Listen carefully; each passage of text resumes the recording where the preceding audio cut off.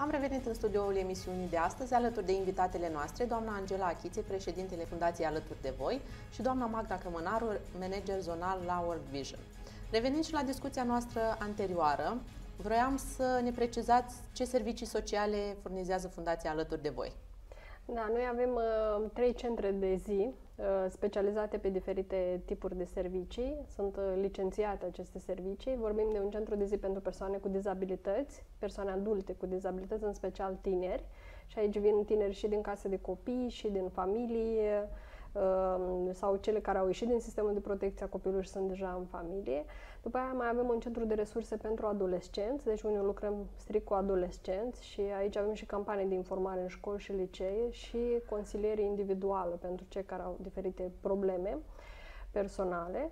Și mai avem acel de-al treilea centru, este pentru persoane și copii din comunitate și aici lucrăm foarte mult în comuna Miroslava, acolo unde avem și sediu. Uh, și avem vreo 80 de copii din satul Rican, din familii foarte sărace, care vin la activitățile centrului de zi. Um, asta strict pe zona de servicii sociale. Și în aceste centre de zi facem diferite activități de dezvoltare de abilități de viață independentă, au acces la calculatoare, la internet, la bibliotecă, voluntari fac teme, îi sprijină pentru um, școală, pentru viață independentă, diferite, discută pe diferite teme de actualitate, inclusiv facem educație sexuală, pe, vorbim despre trafic de ființe umane, despre consum de droguri, teme care de obicei nu prea sunt abordate nici în familie, nici în școală.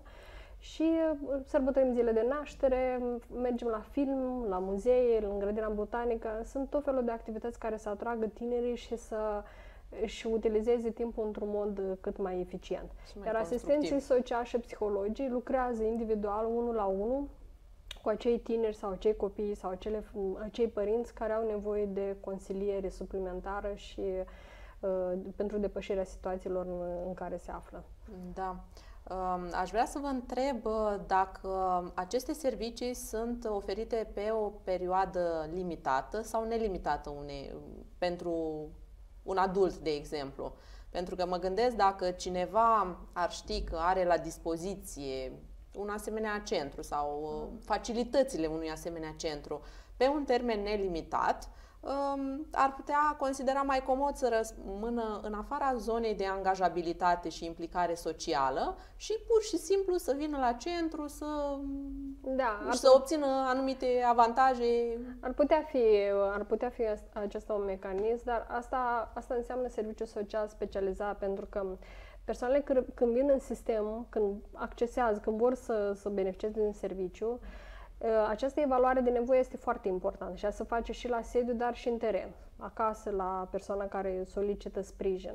Și să face un plan de intervenție în care se stabilește în intervalul de urmăm următorii pași ca să depășim situația.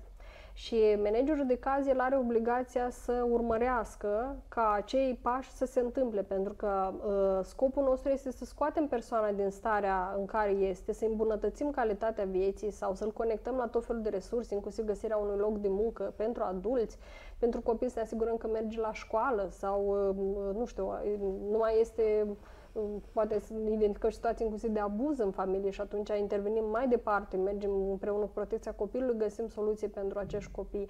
Uh, și atunci e foarte important ca acest plan să se pună în, în aplicare.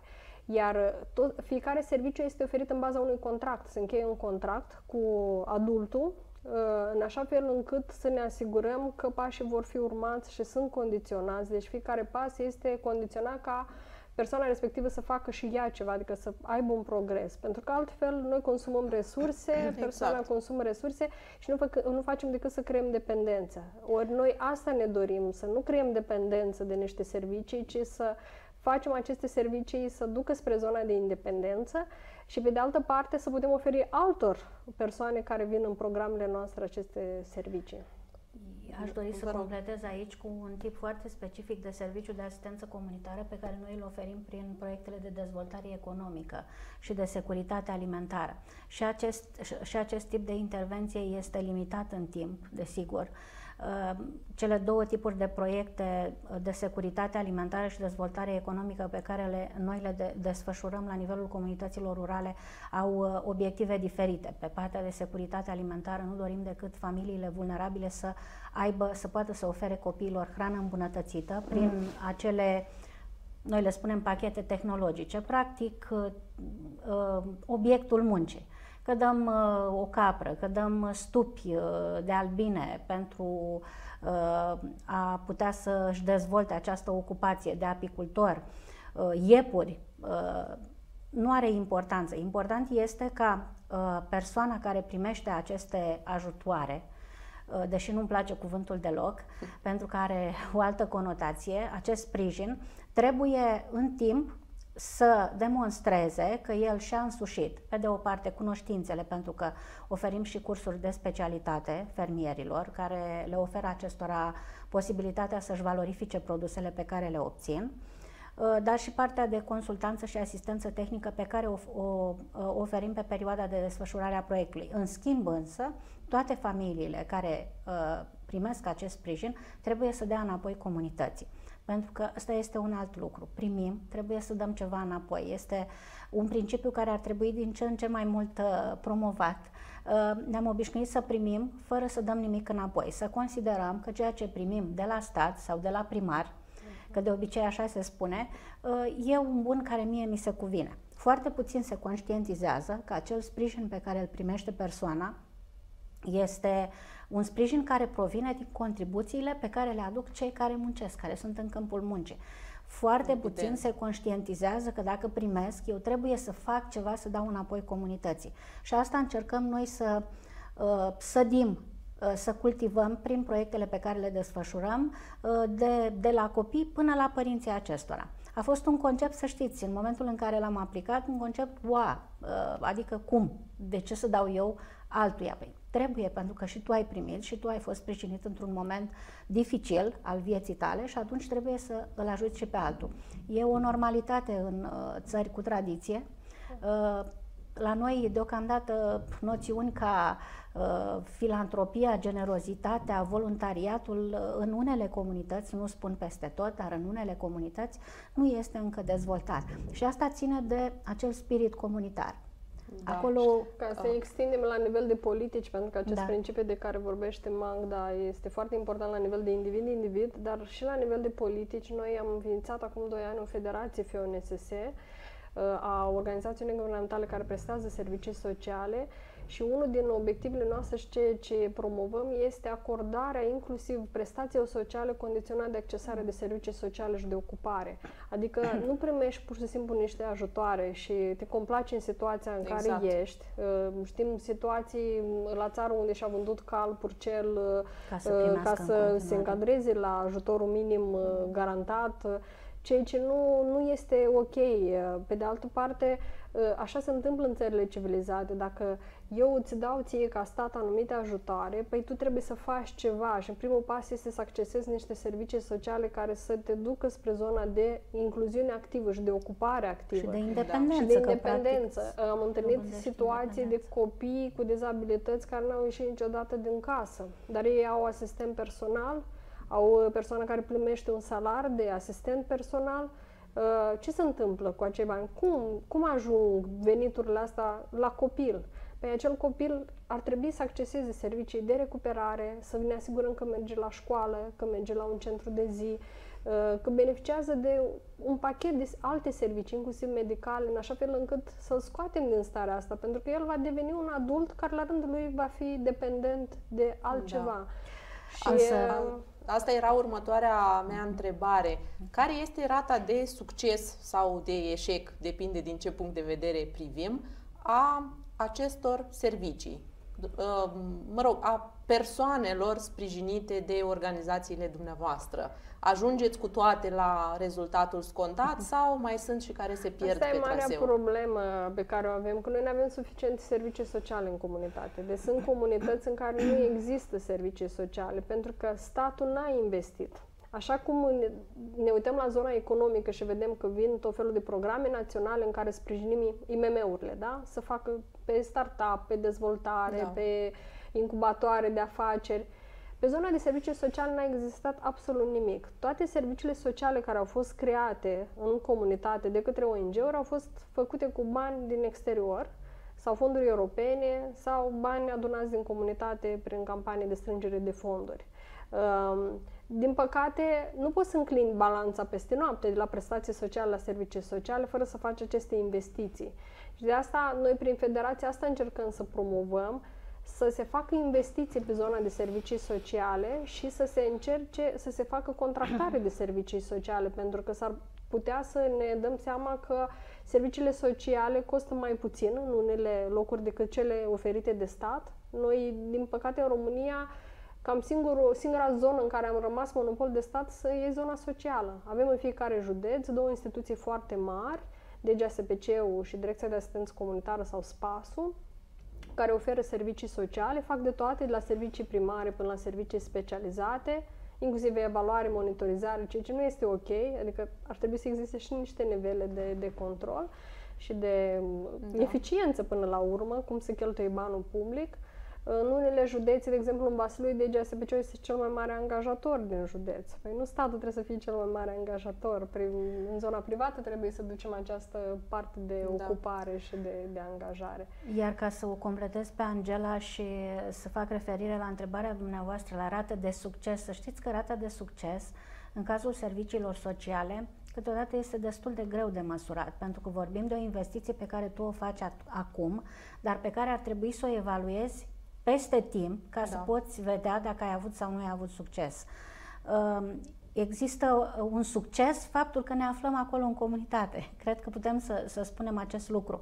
Faptul că există ONG-uri la nivelul comunității și din punctul acesta de vedere municipiul a județului Iași este uh, un județ uh, favorizat pentru că există o societate civilă foarte bine dezvoltată, ONG-uri cu tra- ă, tradiție de lucru în județ, cu proiecte foarte frumoase, cu proiecte de succes, apropo de succes.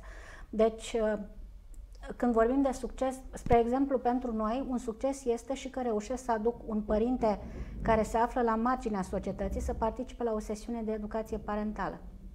Ăla este un succes pentru mine, pentru că el de obicei nu participă la astfel de acțiuni.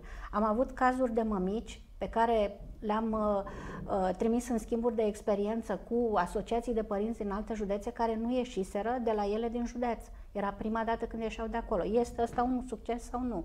Noi zicem că da, pentru că orice ieșire de felul acesta îți mărește perspectiva. Exact. Poți vedea și alte modele și poți să le aduci, să le adopți la tine în, co- în comunitate. Este un succes faptul că unui copil ai reușit să-i asiguri într-o zi o hrană caldă, singura hrană caldă pe care reușește, reușește să o primească din familie, eu zic că este un succes. Există și eșecuri? Da, există, pentru că lucrezi cu, uh, cu oamenii, lucrezi cu sufletul lui, lucrezi cu resursele Materialul lui interne. De cele mai multe ori ține de uh, resorturile interne. De uh, voința și exact, de, de voința de și capacitatea lui de a înțelege că ceea ce că lucrul de care beneficiază în, în acel moment reprezintă o oportunitate pentru el și trebuie să o apuce. Dacă nu conștientizezi lucrul acesta, nu ai cum să ai succes. Însă ni-l asumăm. Pentru că pe lângă acel eșec pe care, pe care să zicem la eu nu l-aș numi eșec, noi învățăm foarte mult din aceste uh, cazuri care, pe care nu reușim să le aducem la un liman. Uh, sunt zeci, sute, mii de cazuri care sunt rezolvate. Sunt copii care, pe care reușim să-i trimitem la școală, care altfel nu s-ar fi dus. Să reia sunt, școala exact, să reia școala. Sunt fermieri care înțeleg că au acolo niște resurse chiar lângă casa lor și trebuie să le folosească, că asocierea este importantă și așa mai departe. Cred că succesul îl putem, uh, cel puțin la nivel mental, îl putem măsura în timp. Da. Material este mai ușor. Cantitativ. Cantitativ este simplu. La nivel calitativ, însă, vorbim de schimbări de comportament. Și aici cred că este nevoie de acele evaluări periodice. Noi ținem foarte mult la aceste concepte de uh, monitorizare, de evaluare, da? pentru că, da, ne interesează impactul și în funcție de impactul pe care îl avem, ne și articulăm sau ne modificăm intervenția. Pentru că, în final, dorim să oferim servicii de calitate de calitate însemnând să ajungă acolo unde trebuie și să beneficieze cine trebuie de ele și să vedem și o transformare. Sigur că da. Um, am aflat de curând că ați fuzionat cu Fundația Parteneri pentru Dezvoltare Locală. Deci, sau mai bine spus, Fundația Alături de Voi a preluat uh, și Fundația Parteneri pentru Dezvoltare Locală. Uh, care a fost motivul acestei fuziuni și cum va evolua activitatea în viitor? Alături de resurse. Ați preluat și resursele, angajații sau doar uh, fundația în sine și de ce? Da. Uh, într-adevăr, este o noutate pe piața ONG-urilor, pentru că eu personal n-am mai auzit de două ONG-uri să fuzioneze, deși legea permite, pentru că de obicei vedem lucrul ăsta în zona de... Mai degrabă s-au desființat de decât business, să fuzioneze da, da, da, da, da. acum. Aici este o situație mai specială, pentru că organizația pe care am absorbit-o noi prin fuziune este o organizație cu peste 20 de ani de experiență.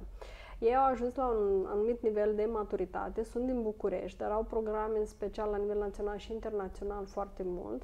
Uh, fac uh, și servicii care sunt complementare cu ceea ce facem noi și uh, pentru că au ajuns la acest nivel de maturitate, ca în orice organizație, ai cicluri de dezvoltare. Uh, ei s-au gândit cumva că cel mai bine ar fi ca toate produsele lor, uh, au foarte multe traininguri dezvoltate, inclusiv pe anticorupție, pe management de conflicte, pe dezvoltare comunitară, uh, Ehm, să le predea cuiva care să poată să le ducă mai departe. Și atunci ehm, ADV-ul a, a fost pe lista lor de priorități. Le-a plăcut foarte mult ceea ce facem noi.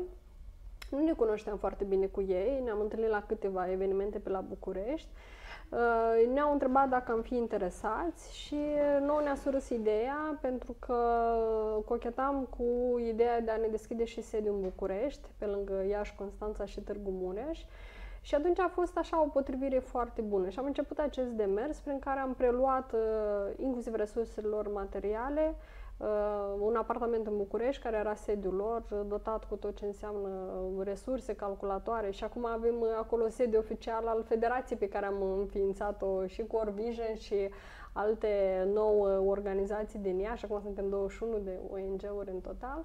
Uh, și uh, vom continua să, să facem ceea ce au făcut ei. Deci, practic, am integrat în statutul nostru, în obiectivele noastre, ceea ce făceau ei la nivel uh, național și internațional. Foarte important, noi am intrat și în Global Partners, este o rețea mondială au în fiecare țară o singură organizație reprezentant și noi vom, vom fi implicați acolo. Ei lucrează foarte mult pe procese de guvernare, pe uh, uh, anticorupție, pe democrație și alte, Practic, alte pe teme destule, civilă, da, teme mult. destul de interesante.